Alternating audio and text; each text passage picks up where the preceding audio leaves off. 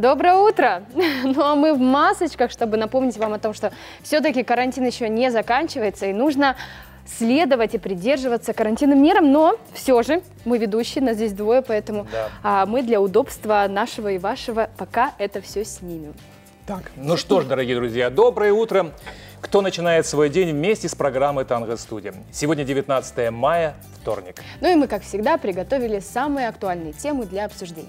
Интересные новости и заряд отличного настроения. Да, в такую погоду, как сейчас в Алматы, хороших эмоций нужно много. Сегодня мусульмане Казахстана встречают священную ночь Хадыр-Тыны. Духовное управление мусульман Казахстана призывает встретить ее дома, а не собираться, как это обычно бывает в мечети. А молитвы и проповеди можно будет послушать в режиме онлайн. И еще одна новость касается владельцев автомобилей. Сроки временного нахождения автомобилей и других транспортных средств на таможенной территории Евразийского экономического союза продлены до 30 сентября. А еще одно известие, к сожалению, не радостное, застало нас вчера утром. 18 мая стало известно о кончине известного казахстанского журналиста, деятеля культуры и лауреата премии президента Республики Казахстан Бесена Куранбека. Бесен Куранбек запомнился зрителям как ведущий актуальных социальных ток-шоу на национальном телевидении. Мы приносим свои искренние соболезнования родным, друзьям, коллегам и зрителям журналиста.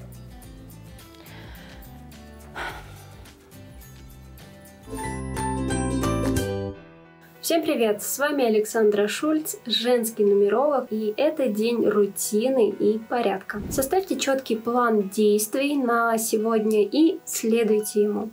Энергия дня приветствует предсказуемость, последовательность и порядок. Порядок стоит наводить как в работе, домашних делах, так и в отдыхе и общении. Также могут всплыть старые дела, которые вы давно откладывали и не хотели делать.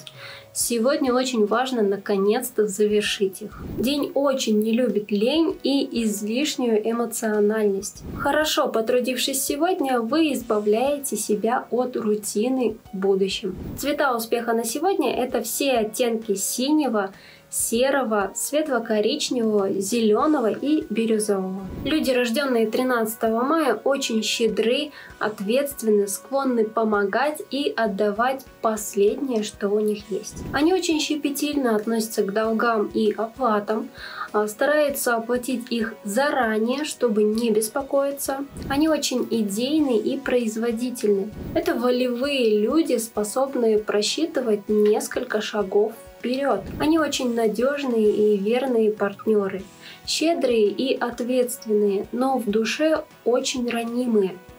Они способны тонко чувствовать любую несправедливость, ложь и обман. Они действительно умеют учить людей правильному отношению к деньгам с уважением, но без жажды. В отношениях они очень добрые, верные и щедрые люди. Для них нет ограничений ни в дружбе, ни в работе, ни в семье. А для всех они относятся с одинаковым искренним чувством. Ну а сейчас обсудим тему, которая интересует многих казахстанцев – это жилищная программа 5-10-20, о которой вы уже наверняка слышали. Напомню, это максимально доступный проект по обеспечению граждан кредитным жильем. Кредит со ставкой 5% с первоначальным взносом в 10% сроком до 20 лет. Кстати, в этом году запланированы рекордные объемы жилищного строительства. 15 миллионов квадратных метров. Это около 150 тысяч квартир и домов.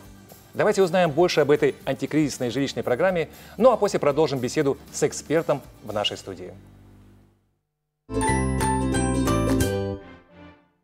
11 мая президент Казахстана Касым Жумар Тукаев поручил запустить новый проект по обеспечению казахстанцев кредитным жильем 5-10-20.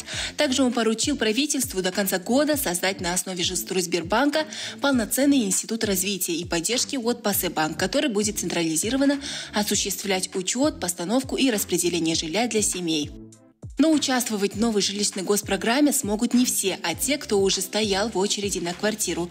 Согласно отчету Жилстройсбербанка, таких семей в Казахстане набирается 540 тысяч.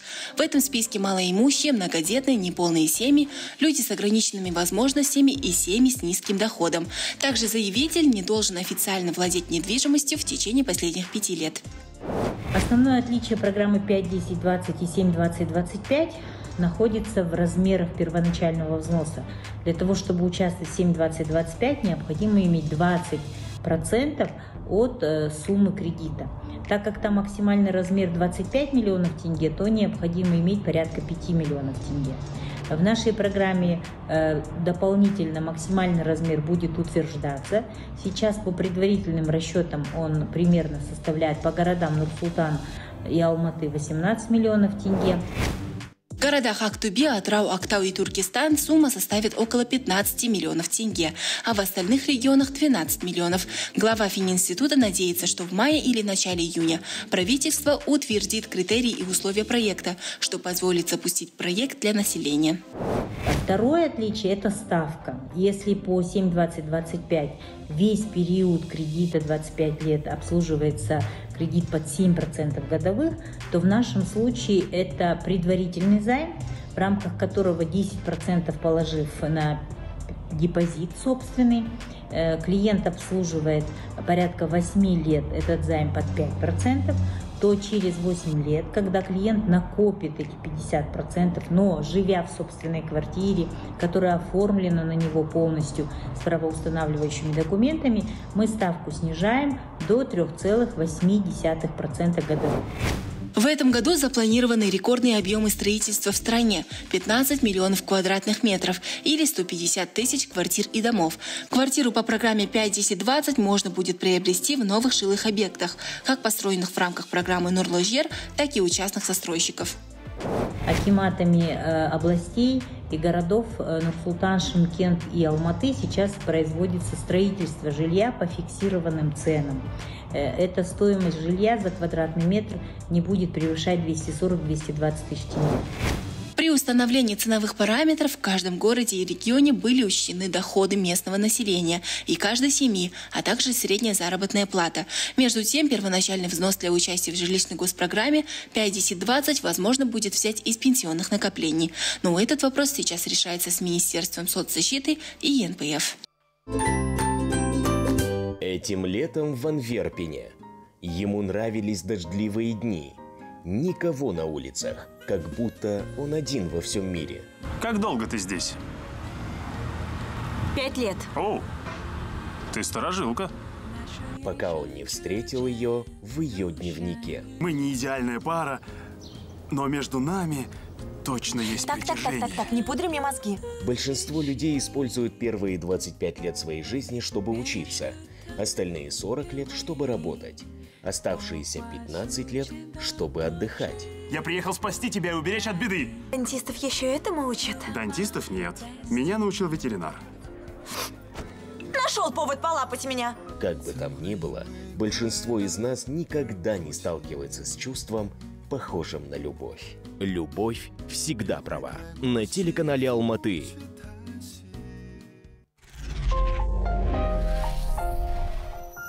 Он готов на все, чтобы найти свою маму. Свет, где мама? Я не знаю. Нужно проверить по всем психбольницам за последние 15 лет. Лежнева Анна Петровна, 47 года рождения. Че, родственница? Мама.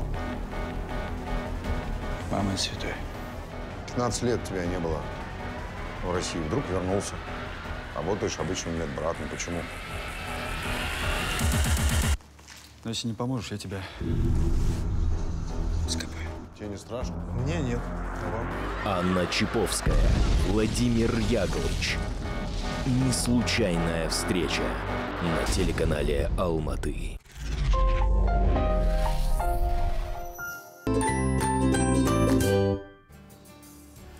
Сегодня в нашей студии советник президента Объединенной ассоциации риэлторов Нина Лукьяненко. Доброе утро, Нина. Доброе утро. Доброе утро, Нина. И, наверное, сейчас мы вас попросим спасибо, да, что вы все-таки в масочке пришли. Соблюдаете Ну, все правила? Да. Стараемся. И, наверное, антисептиком все-таки. Давайте, да. Это чтобы вас обезопасить. Так? Мне нравится, никто не сопротивляется, что с удовольствием протягивает А, ручки. ты тоже я так хотел? Нет. Нина, вот подскажите, какая часть населения сейчас Казахстана пользуется госпрограммами по обеспечению жильем? Ну, вы знаете, наверное, надо отметить, что большая часть хотела бы воспользоваться, но, к сожалению, эти программы носят достаточно ограниченный характер, поэтому достаточно малое количество в целом может воспользоваться. Я думаю, что в большей степени сейчас зрителей интересует новая программа от государства, которая называется 5-10-20. Мы ее упоминали, да, Да, и я хочу сказать, что на ее финансирование выделено со стороны государства 300 ми- 390 миллиардов тенге.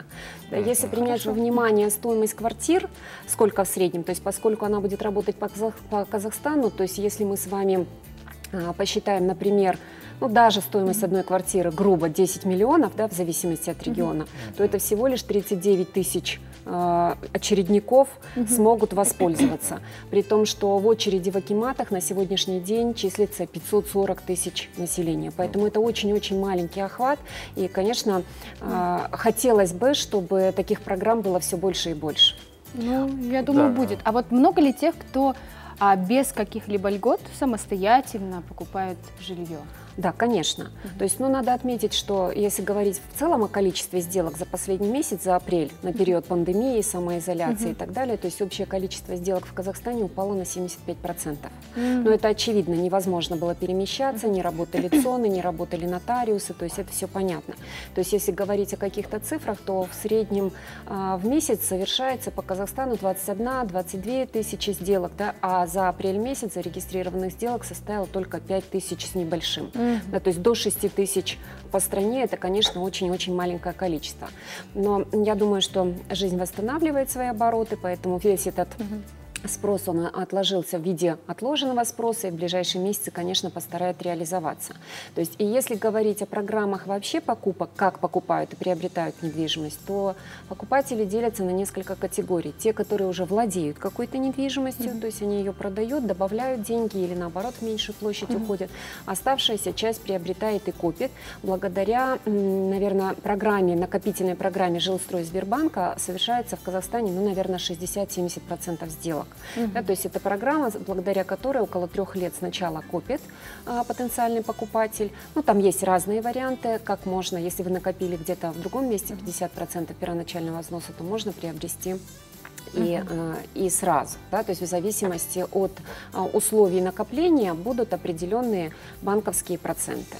Поэтому, конечно, а, такие механизмы необходимо развивать. Это ипотека по доступным процентным Мгм. ставкам. Мне скажите, а вот насколько сейчас вот возможен э, поднятие спроса или понижение спроса от недвижимости в Казахстане? А, Вы знаете, я думаю, что последствия экономических вот всего этого кризиса мы еще до конца не осознали, поэтому мое мнение такое, что покупательская способность населения, она, конечно, снизилась, да, то есть несколько подкосила То есть население. спрос снизится, да, А, Я случае? думаю, что дело даже не в самом спросе, да, спрос он же бывает разный, то есть э, по, по большому счету многие хотели бы приобрести квадратные метры, особенно после вот этого режима самоизоляции, хотелось бы расшириться и А, вы имеете в переехать виду в дом, да. разводы? Это уже тема другой Нет, нет. передачи разводы. да. Не только разводы, а как раз-таки удаленная система работы предположила, А, показала, что, например, в однокомнатной квартире, когда у тебя семья, хочется иметь отдельную комнату, где у тебя был бы, наверное, кабинет для общения и так далее. да, то Чтобы спокойно работать. чтобы спокойно работать. Поэтому сам по себе спрос, он не снизился, но речь идет о платежеспособном спросе.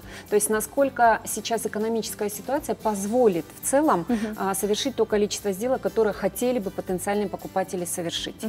Вот. Если говорить о продавцах, то, конечно же, тоже вся эта ситуация с долларом а, резко выбила из колеи, поэтому сейчас, в ближайший месяц-полтора, очень большой разброд и шатание мы будем находить среди продавцов, когда аппетит не соответствует действительному положению. Но я думаю, что в течение двух месяцев все устаканится и уже будет найдена равновесная цена, и сделки пойдут своим ходом. То есть э, на момент вот из-за этого, ну вот спад доходов, пандемии, застройщики пока еще другие варианты не предлагают. да? А, дру- а, застройщики в большинстве своем цены не поменяли, и это Мгм. хорошо.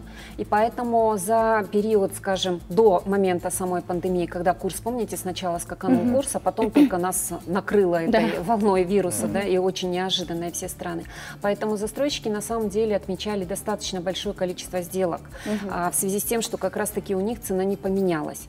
А вот что мы будем ожидать в дальнейшем от застройщиков, это уже вопрос, да, большой вопрос, потому что я считаю, что многие застройщики, у которых мало опыта, или они недостаточно компетентны, или только-только вышли на рынок, то есть я думаю, что в ближайшее время с ними придется попрощаться, и, и их проекты будут под большим вопросом, потому что ну, экономика вот об этих вещах говорит. Угу. А новые проекты со стороны старых застройщиков, угу. ну, естественно, у нас нет импортозамещающего производства, поэтому большинство застройщиков говорит как раз-таки о том, что около, в зависимости от проекта, от 30 до 70 процентов используется импортного сырья.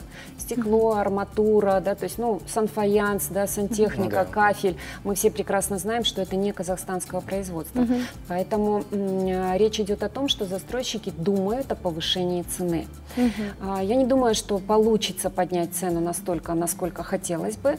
Думаю, что многие проекты просто должны будут снизить маржинальность для того, чтобы сохранить угу. вообще сделку. Так вот, я, смотрите, Нина, получается какая-то здесь ножница. Не то, что какое-то странное только несоответствие. То есть квартира э, собирается в этом году сдать 150 тысяч квартир, но при этом платежеспособность населения упала, при том, что застройщики могут поднять цены. То есть люди не смогут купить квартиры? Ну, совершенно верно. Поэтому я и говорю о том, что многим придется пересчитать себестоимость проектов, пересмотреть, может быть, использованные материалы и бесспорно, бесспорно думать об уменьшении маржинальности mm-hmm. своих проектов. Просто застройщикам тоже не так просто. Это же тот продукт, который создается годами. Да? Mm-hmm. И поэтому сейчас, почему хорошо прошли сделки по новостройкам? Потому что затраты были понесены по прошлому курсу. И поэтому у застройщиков те объекты, где они уже возвели и сдали в эксплуатацию, то есть не было причины поднять цены на них. Соответственно, те, кто э, копил свои деньги в валюте, воспользовались ситуацией, и для них данном случае они смогли на свои деньги купить большее количество квадратных метров. Не скажите, а вот сейчас такой вопрос тоже актуальный такой. Э, ну вот люди уже собрались, скажем так, до карантина, до, до пандемии, собрались покупать квартиру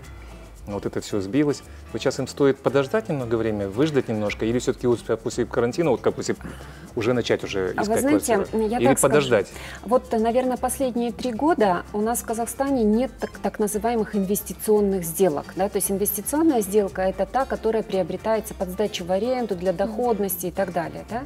То есть в большей степени, наверное, 90% сделок – это для собственного проживания. Mm-hmm. И в данном случае я всегда говорю, что когда человек приобретает или продает квартиру, квартиру, он действует не от мотивов, вот не хочу или не надо. Mm-hmm. Как раз-таки у него сложились какие-то обстоятельства, когда им... Поэтому в зависимости от обстоятельств каждой семье, mm-hmm. я считаю, что если есть возможность какое-то время подождать, то откладывать нет необходимости. Если же речь идет о квадратных метрах, как крыша над головой, то ждать не надо, надо приобретать. Тем более, как я уже сказала, что лучшие объекты по лучшей цене у застройщиков, они будут проданы. То есть mm-hmm. и будут проданы сразу. Поэтому mm-hmm. если есть необходимость стоимость покупки квартиры, всегда есть лучшее предложение на рынке. Просто угу. нужно искать. Ну вот насчет Нина, Нина, я вот, мне кажется, я немножко с вами не согласен по поводу квартир, которые которые покупаются для собственного проживания, да, потому угу. что я вот у меня знакомые живут в новых домах, и там, наверное, процентов 80 все сдают квартиры. То есть, вот я, я их называю спекулянтами, которые скупают по 10 квартир какого-то жилстроя, а потом начинают все это сдавать. Не знаю, для меня это больше редкая история, потому что в большей степени это, наверное, Астана у нас был определенный период времени, ну, когда до Экспо, да, то есть покупали с разных регионов и планировали именно под сдачу в аренду. На сегодняшний день, к сожалению, аренда не дает той доходности, которая была раньше, и поэтому есть гораздо более интересные проекты, куда можно вкладываться и получать большие деньги. Поэтому Поэтому больше редкая история сейчас из нового числа покупателей, когда приобретается недвижимость под сдачу в аренду. Ну, будем а по ценам сейчас арендное жилье? Кстати, вот по поводу ну, арендного жилья, как это для а, Арендное жилье, то, которое от государства а, предоставляется молодым семьям, да, молодым специалистам, его тоже очень-очень ограниченное количество. То есть далеко не все могут участвовать в этих программах. То есть вот э, хотелось бы, чтобы такого было много и много, и каждый мог такое иметь, но, к сожалению, этого нету. А если говорить о ценах аренды, то на фоне вот этой всей пандемии, на фоне снижения экономической ситуации каждой отдельно взятой семьи, угу. как раз-таки цены на аренду, они несколько поднялись. Угу. Да? То есть большая степени а, по тем причинам, что если кто-то думал, что он может приобрести, сейчас доходность уменьшилась, и он остается в аренде. Угу. То есть он уже не думает о покупке недвижимости, либо думает о меньшей площади, поэтому аренда показывает небольшой рост. Ну что ж, Нина, спасибо вам э, за такую интересную беседу. Я думаю, что каждый э, э, кто хочет приобрести себе жилье, найдется для себя оптимальный вариант для приобретения вот этого жилья. Да? Да, спасибо вам большое. Ну, а наше телевизионное утро продолжается. На календаре 19 мая. И сегодня свой день рождения отмечает казахстанская банкнотная фабрика. Интересно, что первые деньги суверенного Казахстана были отпечатаны старейшей английской компанией «Харрисон и сыновья», а собственная банкнотная фабрика открылась в стране в 1995 году. Сегодня наша национальная валюта, помимо красивого дизайна, обладает множеством степеней защиты. И по этому фактору может даже поконкурировать со своими мировыми банкнотами. Кстати, есть очень интересные профессии, связанные с деньгами. Например, оценщик монет – который изучает историю и символику денег. А какие профессии будут особо востребованы в ближайшее время, наши журналисты сделали подборку вместе со специалистами по подбору кадров. Последние события заметно подстегнули процесс изменения рынка труда. Во всех странах, которые затронула пандемия коронавируса, обозначилась необходимость поддержки научных сотрудников, главным образом эпидемиологов. А в Казахстане уже отметили необходимость в будущем усиленно развивать медицинское образование. По данным сайтов по поиску работы и сотрудников, среди наиболее востребованных в медицинской сфере позиции инфекционистов, фтизиатров, хирургов-онкологов, косметологов, гинекологов и эндокринологов. Маленькая цель – это отличие всех успешных и всех богатых людей. Я, я вам так скажу, это не только богатых людей, просто я общаюсь в этой прослойке. Mm-hmm. Это такой же навык у всех успешных людей во всех сферах человеческой деятельности, во всех. Начинать с маленького. По исследованиям сайтов по трудоустройству, профессия преподавателя постепенно трансформируется в ментора или персонального коуча ввиду популяризации онлайн-обучения. Многие мировые школы и университеты предлагают студентам индивидуальный план обучения, разработанный совместно с академическим менеджером.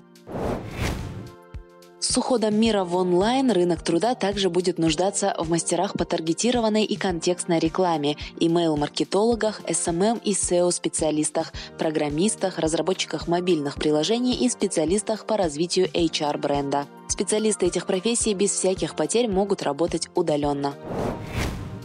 Среди специалистов в сфере инженерии и архитектуры востребованы профессии, ориентированные на нанотехнологии. Например, робототехники и мехатроники. По данным отчета Давосского форума, во всем мире в 2020 году будет создано 2 миллиона рабочих мест в данных сферах. Также возрастает потребность в профессиональных менеджерах по продажам онлайн, которые могут доходчиво и кратко консультировать покупателей. Во время пандемии продажи по телефону в Китае составили около 25% всего рынка, а продажи товаров на сайте Amazon перевалили за несколько миллионов долларов в неделю сфере развлечений, рекламы, образования и бизнеса уже сейчас нужны кризис-менеджеры, аналитики и аудиторы с фокусом на долгосрочное развитие. Это специалисты, которые в условиях трансформации смогут спасти компании от кризиса. В списке востребованных работников во время карантина оказались водители и курьеры. Даже после снятия ограничительных мер привычка соблюдать дистанцию и избегать мест скопления людей еще долго будет влиять на потребителей. А спрос на онлайн-покупки и так увеличивается с каждым годом. Показательным примером стала украинская новая почта, которая вместе с торговыми сетями и интернет-магазинами уже сегодня ищет дополнительно 2000 курьеров по всей стране, чтобы обеспечить выполнение заказов заказов, объем которых растет с каждым днем. Менеджерам по персоналу, тренерам и коучам тоже есть место в списке востребованных в будущем специалистов. Многие руководители мировых компаний заявили, что они готовы инвестировать в перепрофилирование своих сотрудников, поэтому сотрудники в сфере человеческих ресурсов будут заниматься не столько подбором кадров, сколько их активным обучением новым профессиональным навыкам. Ее ждало счастливое будущее. Но обман и предательство изменили все. Что происходит? Зачем наручники? Я никого не убивала.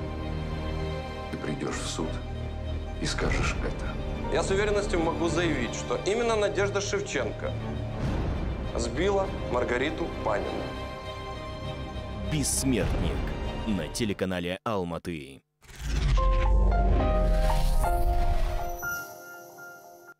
Этим летом в Анверпене Ему нравились дождливые дни. Никого на улицах, как будто он один во всем мире. Как долго ты здесь? Пять лет. О, ты сторожилка.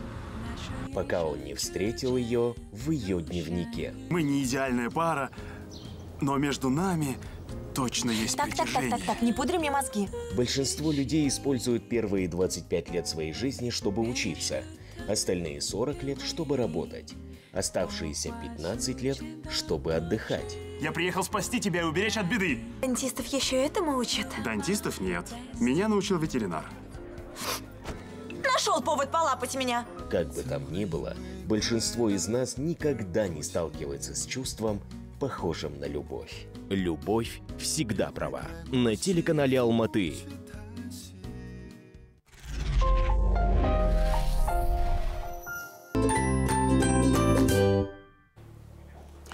Кстати, Дарья, я сегодня вспомнил, сегодня 19 мая, День пионерии.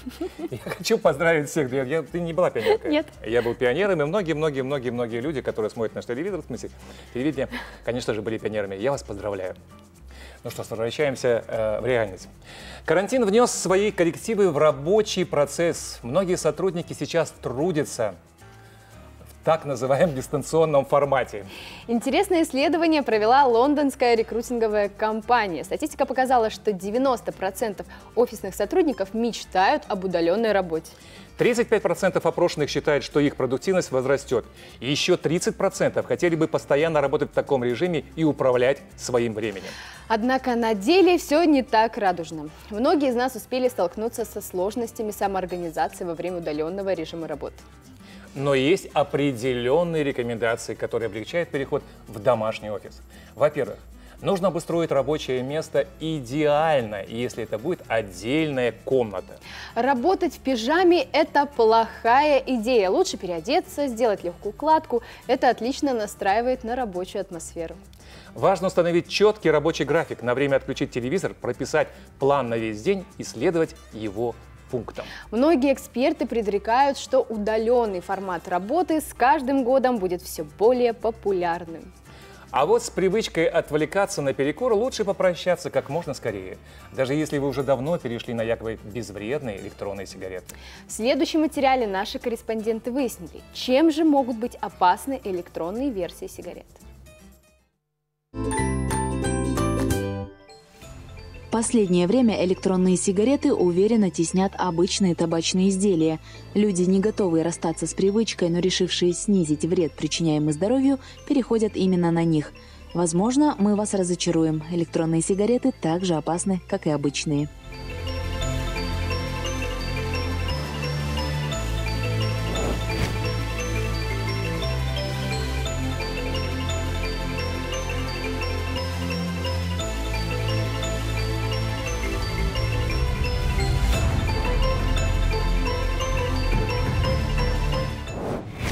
Человек, который использует электронные сигареты, считает, что он уменьшает время курения каждый день и в конечном итоге сможет полностью избавиться от этой вредной привычки.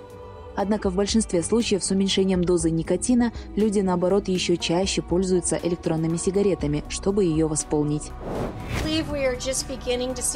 Мы видим только верхушку айсберга. Вот почему подростки должны понимать, насколько опасен вейпинг. 17-летний житель Детройта, любитель вейпа, потерял сознание и был госпитализирован. Врачи, которые вскрыли его легкие, были удивлены их состоянием. Дыхательный орган оказался сильно поврежден. В результате студент месяц ждал донора и перенес пересадку легких. Это серьезный повод задуматься о безопасности электронных сигарет.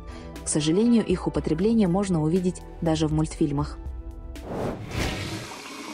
Господи! Если тут дым, значит... Я просто парю. Стюи, если родители увидят тебя с этой штукой, они меня убьют. Выброси ее. Не, она слишком крутая. Смотри.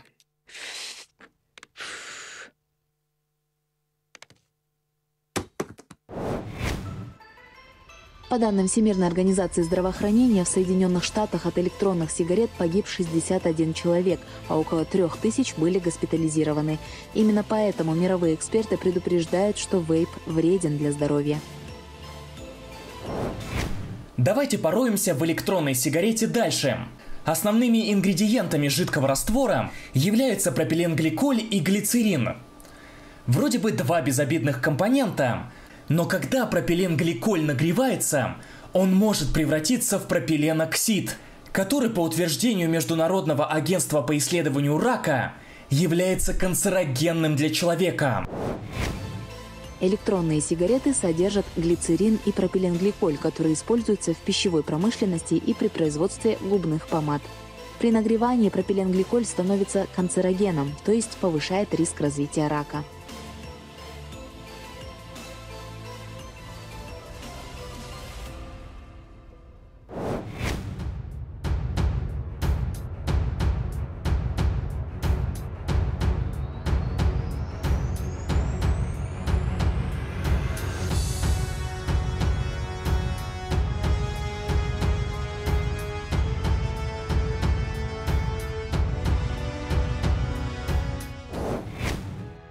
Китае запрещена продажа и интернет-реклама продукции крупнейшего в стране производителя электронных сигарет.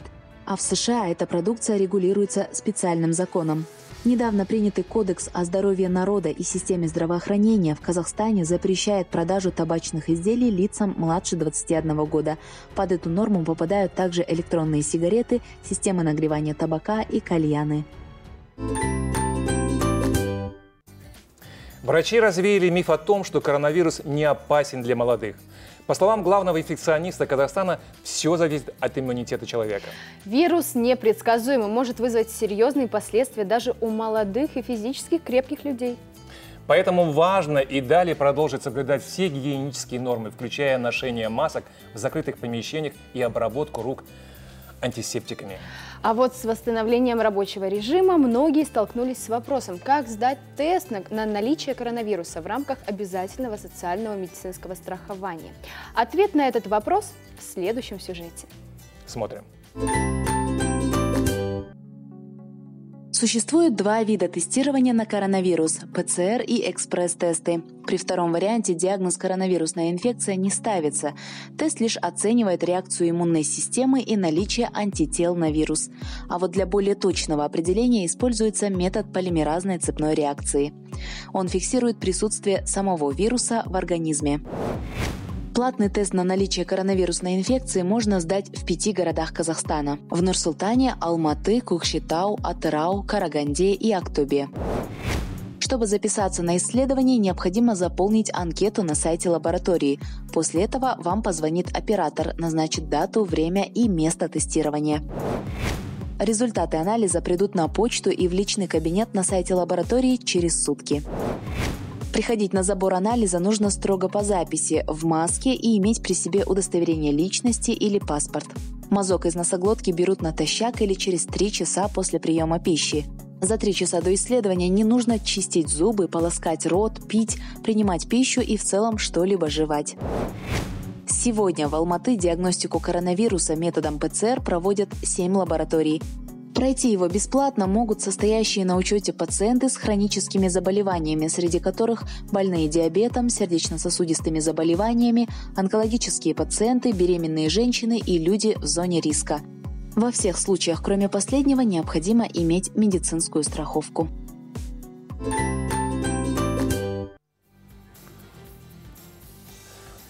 Даш, вот ты, я знаю, что ты а, активный пользователь соцсетей, да? Вот скажи мне, пожалуйста, интересно, а что больше интересовало твою аудиторию в дни самоизоляции? А, ну, то, что действительно в дни карантина активность mm. подписчиков увеличилась в разы, это правда. А соцсети сегодня это не только отличная площадка для развлечений, но и возможность провести время с пользой.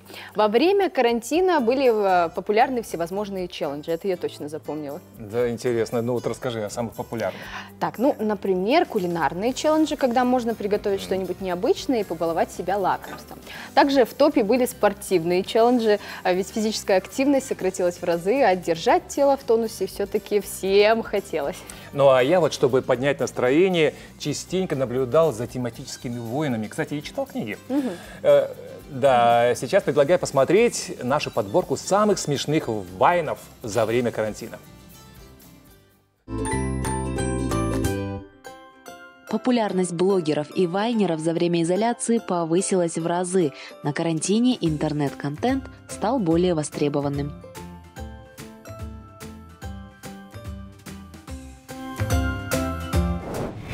12 мая. Человек первый раз вышел на улицу после карантина.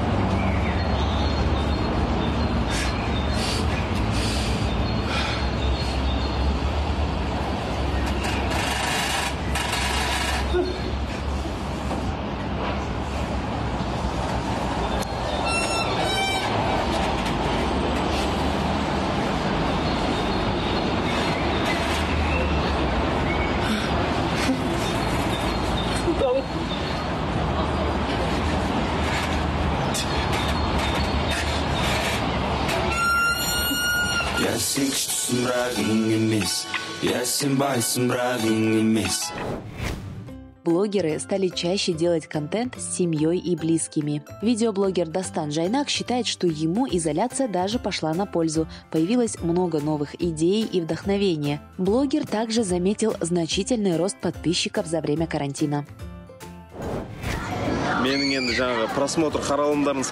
Если говорить о моих просмотрах, то действительно можно заметить рост. Контент увеличился.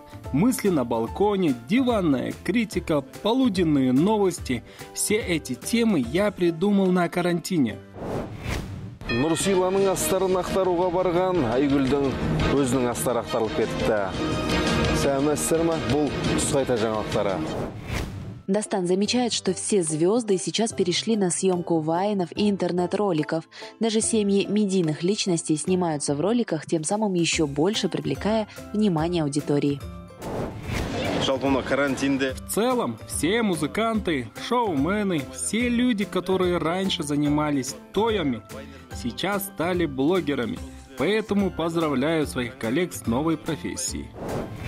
Если заглянуть в раздел комментариев под постами блогеров, можно с уверенностью сказать, что новый формат развлекательного контента людям пришелся по душе.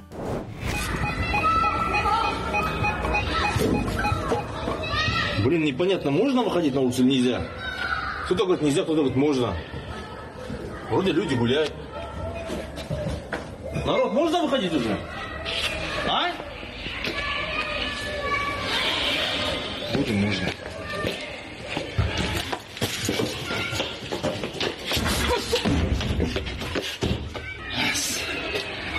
Убежал ему. Эх, я того поймал, да? Все вайны и юмористические ролики сейчас снимаются в домашних условиях. И судя по реакции аудитории, юмористы, как и всегда, попадают своими шутками точно в цель. Ведь они говорят о том, что знакомо и обсуждается каждым из нас. Сегодня у нас в гостях режиссер Канагат Мустафин, которого мы знаем по фильмам «16 девушек», это он Алтакес, да. «Той любой ценой», да. вот где ты играл, и «Самая красивая», да? Доброе утро. Канагат, доброе, доброе утро. Давай так мы с тобой так, mm-hmm. так по сегодняшнему актуальному. Так mm-hmm. вот, Канагат, чтобы было тебе удобнее, ты можешь снять, потому что мы здесь все проверены, маску. Угу. Мы здесь все проверены. Если, если не боишься, если не нет, боишься. Нет, конечно. Нет, не боишься. Ага. Но руки мы все-таки тебе предложим обработать немножко. Да, конечно. Расскажите, как это еще не первый, ага. уже не первый ваш выход вообще в свет из дома? Нет. За карантин. Вот буквально недавно начали уже потихоньку выезжать, угу. уже восстанавливать работу. У нас угу. сейчас идет подготовительный период. А, сейчас а, в августе будем снимать большой проект исторический Хажмухан. Mm. Я его 10 лет готовил. 10 лет? 10 да. Нет, ну мы все, конечно, в курсе, что ты собираешься снимать, но я не знал, что ты 10 лет к нему готовился. Да, 10 лет я его. А 10 лет, в смысле, что ты делал? Я не понял. Ты, ты пришла тебе эта идея, потом писал сценарий или как? Или вот искал материалы, там, рылся в исторических фактах, да? Да, я вот как раз заканчивал э, монтаж своего фильма «Рывок», и тогда эта идея Это еще пришла. в те времена? Да, да, да. Угу. В те времена эта идея пришла, угу. начал как бы, ну тогда я был еще молодой, и как бы, может быть, как говорится, все, все что делается, все к лучшему. Если бы я тогда снял, может быть, это было бы как-то не так, да, и так далее. И с тех пор я начал как бы собирать материалы, э, знакомиться с его родственниками, ездить, а, ну и параллельно искать финансы. И всякие разные истории были. Угу. И, в общем, вот благодаря фонду кино, который сейчас открылся, этот проект э, скоро реализуется. Угу. Я там защитился, как бы, Это питчинг, И- так называемый, На, на прошел, питчинге, да, на первом питчинге, да, да, я пред- презентовал проект, и как бы там Канагат, ну вот, мне, вот- вот с одной стороны, мне тоже интересно, а что тебя на- натолкнуло вот на эту идею? Я же, я вот, знаешь, дело в том, что, ну, ты не знаешь этого факта, потому что я, это было лет, лет на 25 тому назад, снимался в фильме «Зная наших» Султана Ходжикова, нашего режиссера, нашего великого режиссера, казахского режиссера, которая была тема как раз именно Хаджи Мукан. Мы снимали в Казани, в Уфе снимали, да. Вот, и в этом фильме я играл братишку его, его любви, скажем так. Я вот помню тот момент. А вот что тебя натолкнуло вдруг на эту тему? Тебя вот как-то это тронула вот эта тема, как бы давно натрогала с детства? Что у тебя, для тебя кумир Хаджи Мукан? Я вот услышал, что тогда они собирались праздновать 140-летие Хажмухана Найтпасова на его Ага. родной земле. И я подумал, а, как раз то вот про, про тот фильм, который вы говорите. «Знай наших». Да, «Знай наших» Ходжикова, он в 87 году вышел. Я в первую очередь что сделал? Я, по- я поискал в интернете фильмы про него, про Хажмухана Найтпасова. Я думал, наверняка в советское время снимали. Да-да-да. Я посмотрел этот фильм.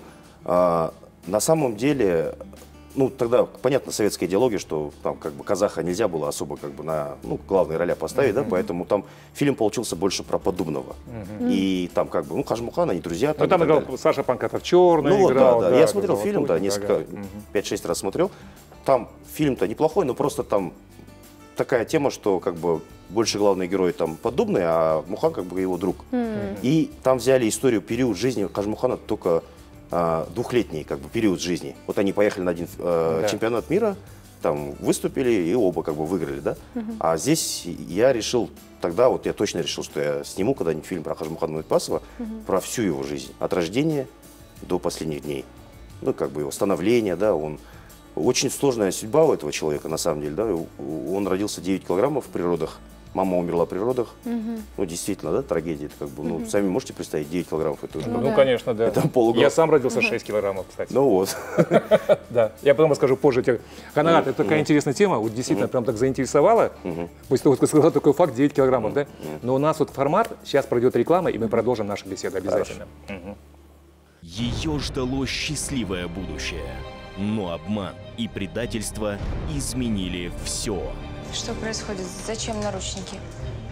Я никого не убивала.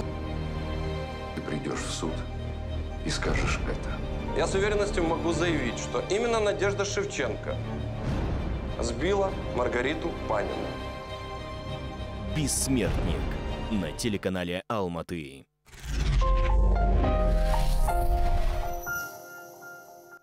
Этим летом в Анверпене ему нравились дождливые дни. Никого на улицах, как будто он один во всем мире. Как долго ты здесь?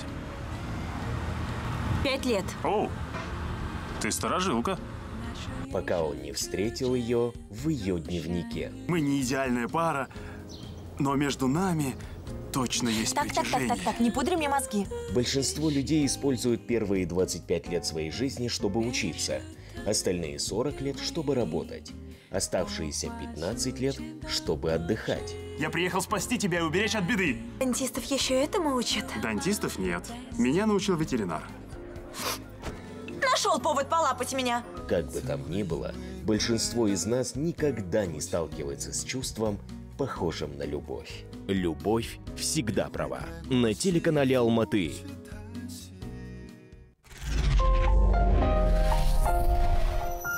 Он готов на все, чтобы найти свою маму. Свет, где мама? Я не знаю. Нужно проверить по всем психбольницам за последние 15 лет. Лежнева Анна Петровна, 47 года рождения. Че, родственница? Мама. Мама святой. 15 лет тебя не было в России. Вдруг вернулся. Работаешь обычным медбратом. Почему? Но если не поможешь, я тебя. Тебе не страшно? Мне нет. Анна Чиповская, Владимир Яковлевич. Неслучайная встреча на телеканале Алматы.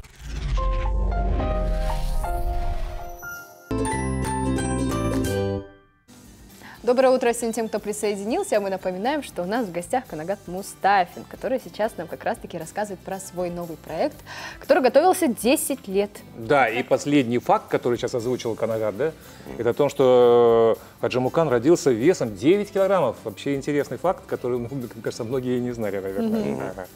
Ну и дальше продолжаем беседу. И И- А Хажмухан, как-то у Хажмухана спросили, а, был ли казах, который победил тебя? Ну, в борьбе там, и Мгм. как-то за, за столем. Хажмухан ответил, что да, был один а, парень, воришка, который живет, проживает в горах, спускается только по нужде в город. Вот он как-то, говорит, меня пригласил себя к горам, там, в гости. Говорит, встретил очень, как положено, Дастархан, там мы с ним покушали. Потом он мне, говорит, предложил, «А, давай, говорит, Кажеке, мы с вами бороться не будем, вы меня поборете, я знаю, вы там самый лучший борец на свете. Давайте лучше с вами по- а, а, канат, аркан потянем.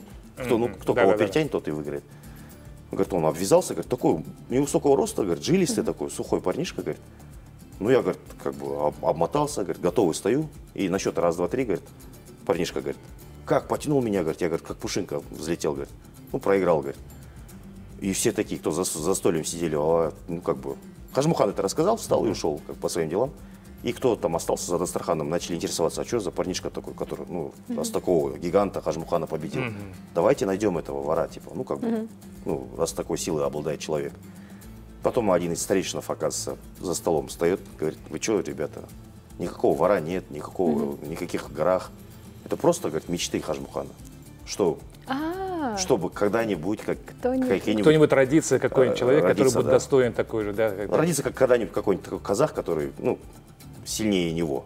Это, говорит, у него такие вот фантазии были. Нет, ну это, это же говорит, ведь говорит о, о нем, о самом как о человеке, Да, правильно? конечно, Он, конечно. то есть не Да. то, что за себя, он хотел, Да, чтобы да, да, такие да. сыны родились на казахской Да, земле, да, понимаете? да, он Вообще- об этом мечтал. Когда вот э, мы уходили на рекламу, я тоже хочу это озвучить, насколько это была такая личность. Я сейчас таких людей не знаю. И спасибо за то, что вы снимаете про а, такого человека целый фильм. Я прочла, вот я ходила на кастинг, даже прошла. И, в общем, а, он отдал практически все свои сбережения, если не все, а вот в военное время купил самолет для советской армии. Да. Это такой факт Мгм. общеизвестный, да, который действительно это, это- это- каким нужно обладать характером, каким нужно быть патриотом своей страны, чтобы свои огромные деньги купить самолет и отправить на фронт. Это- А какие планы да. по съемкам у вас?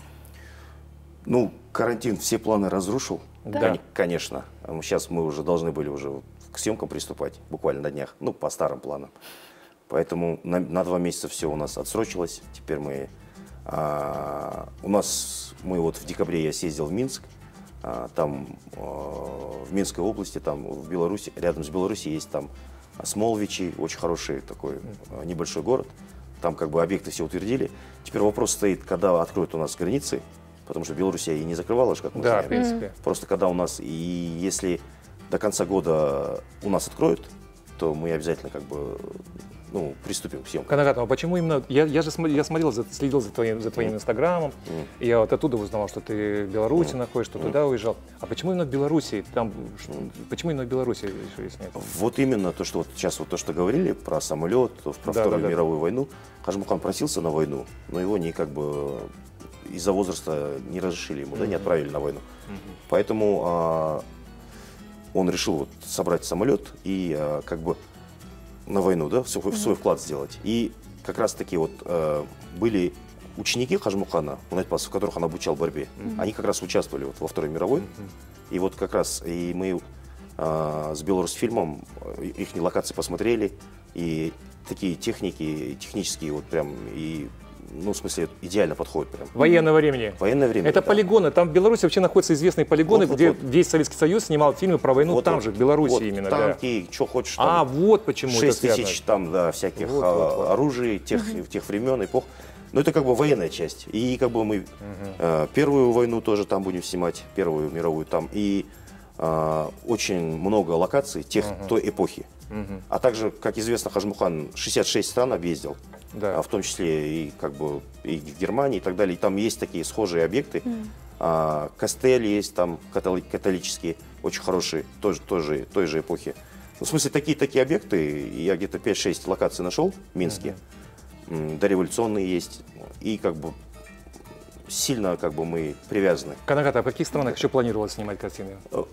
Именно в Беларуси и Казахстан, да? Нет, в Беларуси еще в Азербайджане. В Азербайджане еще да, съемки, В Азербайджане, в Баку будем снимать, там эти... К сожалению, да, вот, к сожалению, время неумолимо, у нас есть свой формат. Да. Э, Мы просто сожалеем, что мы не, не- мы не поговорили на все темы, которые вообще касаются Канагата Но Мустафи, может все-таки режиссера. про фильм, когда премьера планируется. Да, вот, вот, когда Или премьера карантин планируется, пока да. еще вот из-за карантина не Ну, открыли. надеюсь, второй, третий и так далее этой волны не будет. Не надо. Блин, Пожалуйста. Сейчас, да, поэтому надеемся, планируем на Наурыз 21 Мгм. года. Мгм. А, как раз будет 150-летие Ажмухана Найтбасова. Мгм. А, и если, надеюсь, ничего, если такого не повторится, то мы выйдем. Да, Наурыз. будет хорошо. Канагат, мы, мы надеемся, что ты сделаешь свою картину, замечательную картину. Мы с удовольствием ее посмотрим и обязательно пригласим тебя именно во время премьеры на нашу, нашу передачу сюда, в нашу студию. Спасибо большое. Ну что ж, дорогие друзья, спасибо вам, что вы сегодня были вместе с нами. У нас в гостях был Канагат Мустафин, и мы, Дарья Александрова и Жан Байжанбаев. Всего вам Прощаемся, хорошего. да, до завтра. Завтра в 8 часов наши коллеги на казахском языке, и в 9 часов уже мы. До завтра, хорошего вам дня. Берегите Пока-пока. себя. Пока.